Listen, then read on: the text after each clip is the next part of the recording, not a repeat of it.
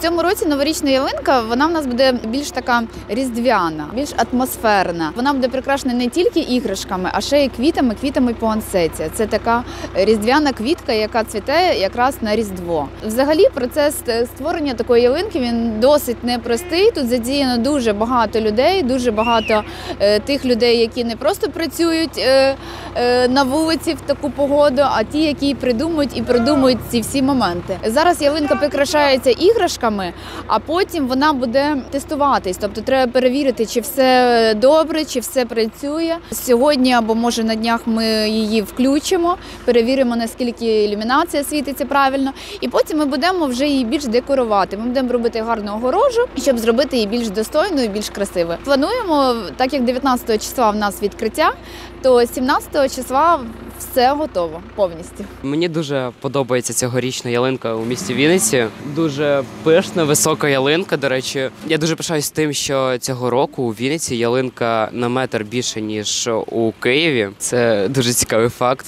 На мій погляд, вона кожен рік її просто чудово прикрашають, та в цьому році її також прекрасно прикрашають. Сьогодні я перший раз побачила, як її прикрашають е, люди. Я дійсно здивована.